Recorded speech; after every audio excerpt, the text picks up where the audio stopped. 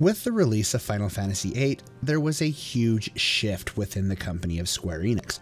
Square Enix's business model had completely started to change as they realized that the West was a huge market for potential sales. The company internally started to take a look at what it would take to bring their games over and make them even more popular in the West.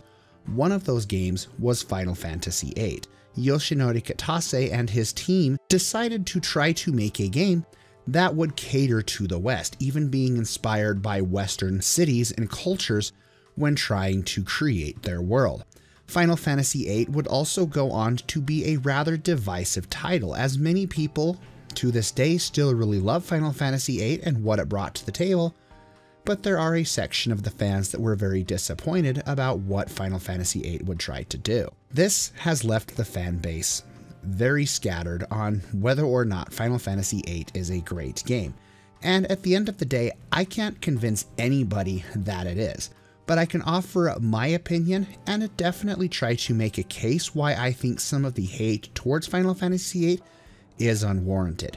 And in today's retrospective, we're going to take a look back at the game and see how it holds up and see if it's really as bad as people remember. So sit back, relax, subscribe to the channel, and let's dive into our retrospective of Final Fantasy VIII.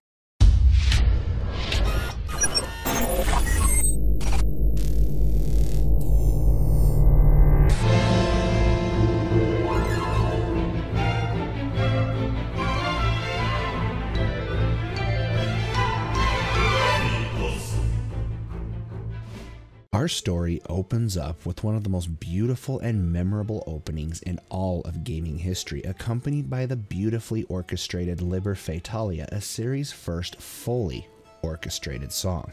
During a sparring match, Squall and Seifer are both injured. Squall wakes up in the infirmary after visiting Dr. Kadowaki for his wounds. Squall and Quistis make their way to the fire cavern to obtain a low-level GF and check off the prerequisite for the SEED exam later this afternoon. SEED is a military mercenary group dispatched all across the world. Squall and the other mercenaries in training are tasked with assisting the Dollet military in holding back the invading Galbadian army. Turns out, Galbadia invaded Dollet to get a satellite tower up and running in order to broadcast and introduce the new ambassador of Galbadia, Sorceress Edea. Squall and the other new graduates, Zell and Selphie, are stationed in Timber and tasked with helping out the Timber Owls, a small resistance group fighting against the Galbadian army. Squall and the other Seed members find themselves fighting against Galbadia in an attempt to stop the sorceress from gaining power and taking over the world. Final Fantasy VIII gets criticized a lot when it comes to its junction system. This is in a lot of ways because it's fairly easy to break the game and become very overpowered early on in the game. It also doesn't help for newcomers, the junction system is just very hard to wrap your head around. The junction system is what you will use to become stronger since enemies level scale with Squall. Each party member is able to equip a GF or a Guardian Force. These are this game's version of summons. Each GF will have certain stats you'll be able to equip equipped to magic. Think of these as a replacement for armor or somewhat weapons. Junctioning magic to a stat will increase that specific stat, so say we were to equip Blizzaga to Squall Strength, this would increase the amount of damage Squall could dish out. Same would go for if you wanted to increase your magic stat. You'd simply junction magic to your magic stat and voila, you'd be doing more damage. Final Fantasy VIII lets you customize your characters quite a bit, giving you control of what roles you want your party members to fulfill. Playing around with the junction system can be extremely extremely fun. There are no limits to how many GFs you can have equipped to one party member at a time, meaning if you really wanted to, you could equip all GFs in the game to one party member, though I don't really see the point in doing this.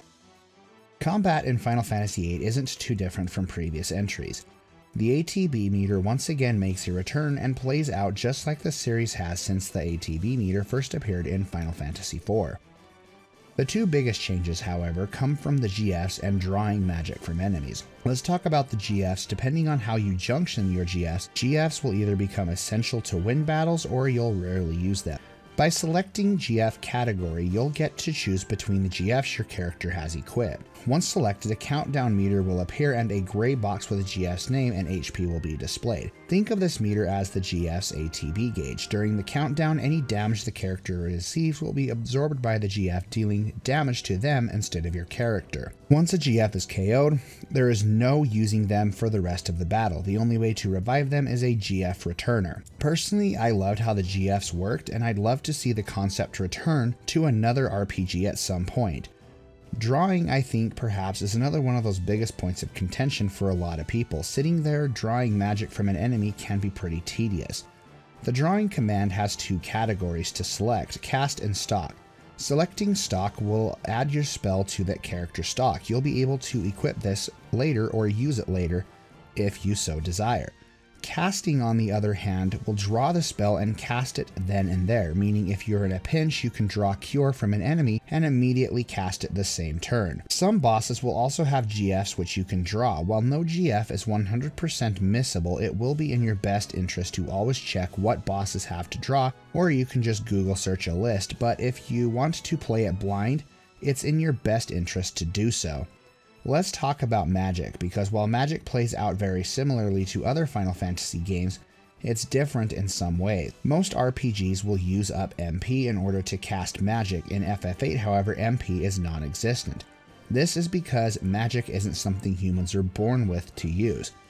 Only sorceresses have the potential to cast magic without using draw. Magic in this game is called paramagic, and it was discovered how to extract magic from creatures in order for humans to use it. As stated earlier, the characters will have a stock, and you can select the spell you want to use and your character will cast it using one spell each time. Basically, magic in Final Fantasy VIII is a consumable.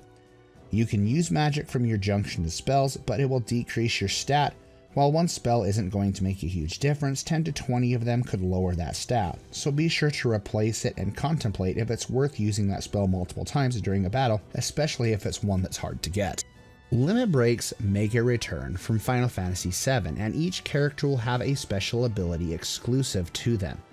This time, though, rather than having a meter fill up, a limit break can either be used by a character reaching low health or using the magic spell aura.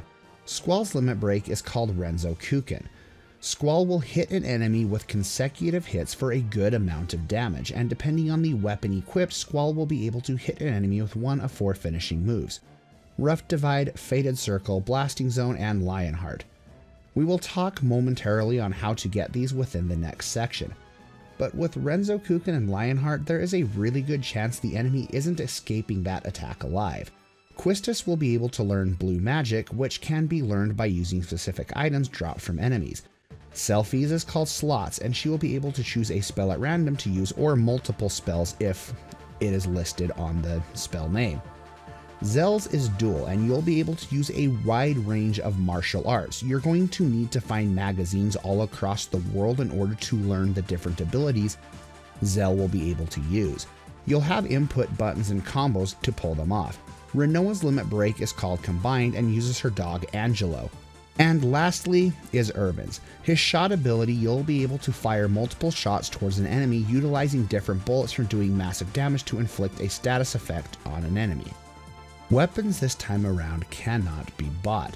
On your travels, you'll stumble across magazines cataloging new weapons. You'll make your way to a junk shop and construct weapons there. Each weapon will require a certain amount of items to craft, which are acquired by defeating enemies or using card mod. It's not required to get every weapon or necessary, but it will give your character benefits, and in Squall's case, it will affect what finisher he will be able to use at the end of Renzokuken. While on the topic of magazines, many more can be found across the world. Timber Maniacs can be acquired. This is a small magazine detailing details about the world and a certain character's travels across it. Occult fans, which are tied to side quests, Combat King for Zell's Limit Break, and Pet Pals for Rinoa's Limit Break. Occult magazines will reveal more information about hidden side quests and even leading you to get a very powerful GF. Sometimes I've mentioned in this review, and no doubt you've heard it multiple times, is how easy it is to break the game. It's not uncommon for people early on to build Squall in such a way he can pretty much solo the game. This is done by utilizing card mod. and magic refining. Many people consider this to be a major flaw, and I get that. Not everyone is going to get it either, meaning the game can be extremely easy or it can be extremely hard depending on your knowledge how each of these systems work. The real flaw with this setup though is understanding it in the game's tutorials. They are vague and only cover the basics. And with a throwaway line quest that says check your tutorials in the menu, most are not going to pick up on it unless they actually do it. As a matter of fact, most of this game's lore and world building and plot are stuffed into these menus, NPC conversations, and even in areas you wouldn't think to look. This is a flaw which has caused many people to criticize its story, and yet, despite it being a bad idea, Square Enix would reuse it in Final Fantasy XIII, but make it 30 times worse. Final Fantasy games at this point are known for their small addictive time sink mini games that inflate the game's time, and Final Fantasy VIII is no different. I really enjoyed these mini games, and while they are not great, they do break up the gameplay quite a bit and stop it from feeling like it's a run and battle, run and battle. Modern Final Fantasy games struggle to get this right. Though the Final Fantasy VII Remake seemed to realize this, there are scripted battles that fit right into the story I absolutely love, such as fighting a soldier while on top of a flying machine and having to press a button to block, kick, and punch your enemies. At one point, Squall and the party have to go on a mission to disconnect two trains, having to input a code while escaping the guards. I love this segment. It makes the player feel like they are part of this intense scene, and though it's not hard if you're playing on the old Steam version, which doesn't fit very well to an Xbox controller, screwing up the inputs, you'll be just fine. It gives off this sense of adrenaline. Accompanying this section is a brilliantly composed song by Nobuo Uematsu, and it's easily one of the most memorable moments from Final Fantasy VIII. Final Fantasy VIII would also be the first game in the series to introduce a card game, Triple Triad, though I've always found myself a fan of Tetramaster from Final Fantasy IX because I find it a bit more enjoyable and much more simplistic and easier to figure out. I decided for the sake of this retrospective to take a plunge into Triple Triad, set aside my biases, and give it an honest shot. What did I discover? I honestly liked Triple Triad quite a bit more than Tetramaster. Triple Triad is pretty simple to figure out. Your cards will have letters and numbers indicating how strong your card actually is. The higher the number that your opponent's, you will overtake the card by flipping it to your own color. With strategies and placements and paying attention to your opponent's moves, you'll achieve victory. Triple Triad really shines in how it changes the rules depending on the region of the world you're in. This makes the game really exciting and made me rethink my strategy a lot. So let's talk about these different rules and how they affect the game. First off, let's talk about the rules one and all. One will give you one card of your picking if victory is ensured. If you are playing with all, which I pretty much always recommend you should, just for card mod alone, make sure you save often because like you're able to take every card your opponent has, they're able to take every card you have in your hand. Next up, let's talk about Elemental and Same. Elemental will place specific elemental icons on the board. So say you've got a card with a fire element, placing that card on a fire icon gives the card a plus 1 on all four sides, meaning each number is increased by 1. While on the other hand, if you put a card on the icon that doesn't have an element or isn't the right element, you'll lose the value to each number on the card, making it weaker. Same will flip cards over if the player card has an equal value to the side the card is being played. There are variations of these rules and adding a bit more depth to the card game. The last rule I do want to mention though is open and random. Open will show you your opponent's cards, allowing you to better strategize your moves. If open is not played, all cards will be flipped and won't be revealed until they are played. Random will select cards out of your deck at random. This is the rule I found myself hating the most. During the game, Squall and the other characters will enter a dreamlike state and be taken back to the past to play as Laguna. While most of these are just small little sections carrying over character stats and such depending on the character playing out the dream sequence and fighting a few enemies, during this segment, Laguna makes his way through Lunatic Pandora, a late game dungeon Squall and the party find themselves going through. What you do in the past has small little effects in the present. By blowing up a boulder or opening the hatch on the door, it leaves a door open for the party to explore. usually just to a draw point, but it's still a cool little touch, and Chrono Trigger is the only other game I can think of that has attempted something like this. So, in order to do this retrospective justice, I do have to talk about the plot. So, if you haven't played this game or have a desire to, skip to this part on the screen. Are we good? Sweet, let's go. There are two major points of contention when it comes to Final Fantasy VIII story Squall as a character and the whole amnesia thing thrown seemingly out of nowhere. Let's talk about the latter because this is a huge problem many people have with the game. During the Trabia garden scene, Irvine reveals all of them grew up in an orphanage together, which all but him seems to have forgotten. The truth is, there are small hints dropped in a few places, but the biggest hint to this is found at the computer desk at the beginning of the game. You have multiple times to check it, but many will not. There are a couple of scenes where they could have laid out subtle breadcrumbs to hint towards this reveal, but they missed the opportunity. The first one was when the assassination attempt with or Sorceress Edea took place. Irvine makes a comment about he can never do this and always tenses up at the last minute. He has never hit his target before. By simply adding a line like, She raised me, Edea took care of me in an orphanage with some other kids, or she's someone very important to me would have been a perfect hint at this scene. There are a couple of instances they could have done this with Ellone as well. A subtle hint by adding a small little line in disc 2. Don't you remember me, Squall? We grew up together. These two instances could have been more than enough to lay out a much better build up to the plot twist. Those things are really crucial to the plot. The whole idea was to raise them for this moment when it came time to kill her to remove any emotion or sympathy coming with ending the reign of the sorceress. They had ample opportunity to drop small hints, but didn't. Instead, they left major plot points out. As a matter of fact, something that is never really touched upon much, or mentioned for that matter in the game, was why telephones, radio waves, and forms of communication don't exist. It's actually a really cool concept. This was a sacrifice the world had to suffer to get rid of one of the most evil sorceresses, Sorceress Adele, something tied to Laguna's backstory.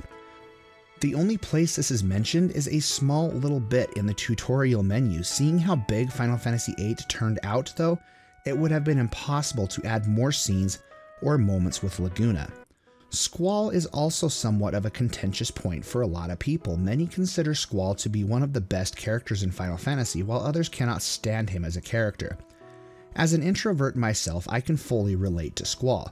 Introverts have feelings they want to be with others, but have a hard time expressing this. Sometimes they traumatically lost someone, or perhaps someone violated their trust, or if you're like me, you tend to be socially awkward and find having a conversation with people difficult at times lingering in the back of your head. What do they think of me? What if I do something stupid? I've certainly gotten a lot better and improved over my adult life and learned ways around some of these problems I have. Something else people bring up with Squall is how his change of heart comes on so suddenly. There are a couple of reasons for this. Let's get into a video game mechanic that destroys this setup, and that is player choice. Kitase and his team decided it best to give the player the freedom to make decisions for Squall and let the players choose what Squall says. If you go about all the negative remarks towards Rinoa, yeah, it's really hard to see this change happen. But choosing the more lighthearted and fun answers builds this up more. These moments reflect the small instances where Squall lets his guard down. The thing is, when you're an introvert, someone giving you attention makes you feel good, especially if they are interested in you. It can also be hard for someone to pick up on these social cues. Oftentimes, they come off as prying or a bit too personal and therefore annoying until you realize you're being flirted with. And when those interactions are gone, you feel lonely. You feel like the only person who really got to know you on a personal level is gone. The only one who genuinely seemed to care about you, the exact same way Squall acted when Rinoa was in a coma. Even those small annoying traits can be endearing as they become something you enjoy about the person, but it takes the fear, or losing them, to really sink in how endearing those traits can actually be. If I'm being honest, I'm more upset we didn't get to see Adele and Laguna struggle against her. Adele was so terrifying, and I found her much more interesting than Ultimecia. Who is Ultimecia and where does she come from? These are all questions unanswered that still keep me up at night. Apparently, Laguna's section would have been a much bigger part of the game, but was cut due to budgetary reasons or time. It would also have been nice to see as I found Adele very interesting as a villain. more than Ultimecia. I also found myself much more intrigued by the plot of the Sorceress War. Not to knock on the story of Final Fantasy VIII because I really enjoyed it, but Adele just seemed a lot less intimidating than the events of Laguna led her to be. I think Final Fantasy VIII is just meant to be taken a look at at face value and not analyzed. Kitase led Final Fantasy games seem to do this, they almost always seem to thrive on fan theory crafting to fill in the blanks of their stories. This has become even more evident as YouTube channels and forums have begun to pop up covering Square Enix content alone. Final Fantasy VIII does feel like a complete package, but the older I get and my mind has matured, past that of a kid going through puberty, it's easier to find some of these plot holes and discrepancies overlooked. Kazushige Nojima is also really good at crafting lore and world building, and Final Fantasy VIII is no exception. It will be interesting to play and review Final Fantasy XIII and compare the two, as Final Fantasy XIII relies far more heavily on the data log to tell the deeper parts of its story. Because of Final Fantasy VIII's story is so vague, it has led many to craft some very interesting fan theories, such as Rinoa is Ultimecia or Squall is dead. And while I think the latter is a well crafted theory, I don't subscribe to it. A lot of the reasons so many fans have crafted such theories is because of the vague plot left by the developers. I find myself wanting closure to these stories, and I'm not necessarily a fan of such open ended plots that encourage speculation. Final Fantasy VIII's characters seem to be really hit and miss for a lot of people, and I don't know why. I find the characters very endearing. The big part of contention for a lot of people is lack of backstory we learn about these characters. Maybe aside from Adele, I think the story is much better for it. The thing is, the characters don't need a backstory because it is in the grand scheme of things. They are just kids raised in a military school. We can pretty much guess what most of their backstory was. There really isn't a whole lot to tell about these characters. It's the interactions between these characters and the friendships with each other that they have that make them more memorable. Each party member feels like they add something to the game, feel like they belong, and don't feel like dead weight. This was something I loved about Final Fantasy VIII and customizing your characters to your playstyle, because while some of the limit breaks are much better and more effective in damage output, you can interchange any character you like and play as them. More often than not, Final Fantasy games have those useless characters who are not as good as other characters in battle. Final Fantasy VIII eliminates that problem. Even Laguna, Ward, and Kiros shine with what little time we get to spend with them. It really does a good job at building them up as characters, I think too many people expected the characters to have interesting backstories, a motive to fight. Final Fantasy VI and 7 had stellar characters for this reason, with each character having an arc or side quest exploring these characters, with the exception of a few. But the prevalent themes in these games also contributed to the reasoning behind why the characters were this way. Each character from those games had motives and reasons to fight against Shinra, Sephiroth, and the Empire. Final Fantasy VIII it's just their job. They are paid to do it. Sure, there is a level of loyalty and friendship that comes with it, a sense of responsibility and desire to protect those around them and uphold the contracts placed before them from the client, but their interactions on how they react with one another really helps sell these characters and probably a good chunk of why I feel these characters fit so closely together and are one of the series' best casts, dare I say, the best cast the series has seen. Welcome back, guys. If you skipped the spoiler section of this retrospective, glad to have you back on board. We can't talk about Final Fantasy without talking about its music. Nobuo Uematsu is a legend within the video game industry, and rightly so. Final Fantasy VIII is one of my favorite soundtracks from the series. As a matter of fact, I go back and forth on which soundtrack I enjoyed more, whether it be Final Fantasy VIII or Final Fantasy IX. They are both some of my favorites from the series. The wonderful and heart pounding composition of Liber Fatalia to the calming and soothing sounds of Fisherman Horizon.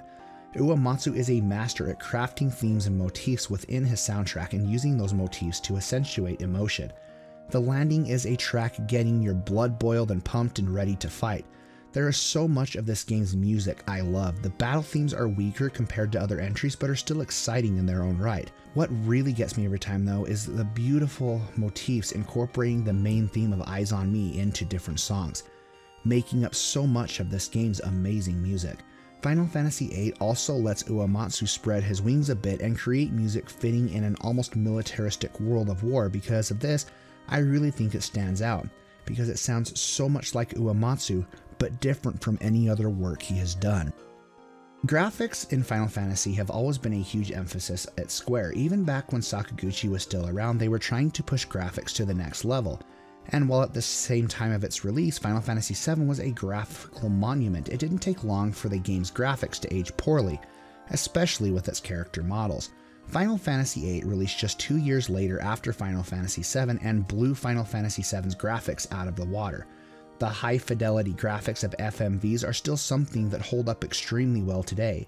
Even by today's standards, it's amazing to me to look back at this and marvel about how far ahead of the time these graphics really were. The pre rendered backgrounds from Final Fantasy VII make a return, and while they look a lot more dated, they still look good. I love the details and care Square Enix put into these pre rendered backgrounds. It really helps sell the world and bring it to life. If I'm being honest, I'd love for pre rendered backgrounds to make a comeback. I feel there is so much untapped potential still to be achieved in this playstyle, especially with HD picture. Since I am playing the older PC version, this isn't a remaster. The graphics you are seeing is the game modded, which I think for a fan made mod, it makes it look really good for a PlayStation title. Let's be real for a moment. I can gush all day about how back in the day graphics, but it's a PlayStation 1 title, a game from 99, a 20 year old game. Some people are going to point this out and have a harder time getting into it, but I still think from a graphical standpoint, it's aged far better than Final Fantasy VII. The last thing I want to touch upon with its graphics was the transitioning FMVs into gameplay seamlessly. While it certainly aged and doesn't look as well as it did back in the day, this was a novel concept ahead of its time and was something even Final Fantasy IX didn't try. I believe I read somewhere this was due to Yoshinori Kitase having a background in film, or at least he went to school for it. There is a certain point in the game, particularly reaching the second fight with Sorceress Edea and going to Esthar, I can really see people struggling with a difficulty spike. And if you've yet to master the junction system, taken the time to refine magic or draw magic from the enemies in the game, the final few fights can be absolutely devastating to the player. It is easy to catch up after getting the Ragnarok, but those wanting to close in on the end of the game might end up feeling frustrated. Well, Final Fantasy VIII's biggest flaw is its junction system and how it teaches the player this information. Final Fantasy VIII also doesn't hold your hand. It lets you figure it out and gives you brief tutorials on how to actually do this. As someone who feels games of late have become too handholdy or hates these annoying long sections of tutorials that just seem misplaced in a game, I like this. Quistis does tell the player more information in the menu about equipping GFs in the tutorial section of the game. Part of this does fall on the player and taking time to read through these segments of the tutorial. Many will consider it a flaw, but I don't. I'd much rather have a game removing these elements of a tutorial, so many games try to incorporate and break immersion. It also makes replayability a breeze, as the tutorials are brief, can quickly be skipped, and it doesn't have the player during subsequent playthroughs sighing as they go through the monotony of an unskippable tutorial. Sometimes I just miss those days that games tossed you into the world and let you discover things for yourself or experiment with the game's mechanics in ways the developers intended or didn't always intend. Despite some very small but minor annoyances I have with Final Fantasy VIII, I still think it is a really solid game. It's easy to take a look at the draw system and complain about it, but you have other ways to get magic. While some may complain about how much you can break the game and make overpowered characters a flaw, I see it as a way to tailor the gameplay to your experience and how you want to play. The time and effort you put into it all adds up, and nothing is stopping you from making the game harder by not junctioning stronger magic. I will admit though, the level scaling doesn't really add anything to the game either. Since the enemies scale to Squall's level and you can just equip magic to a character to a stat, what little benefits levels do give you don't make much of a difference. Final Fantasy VIII is perhaps one of the most divisive titles on the PlayStation 1 of Final Fantasy games, but it's hardly a terrible game.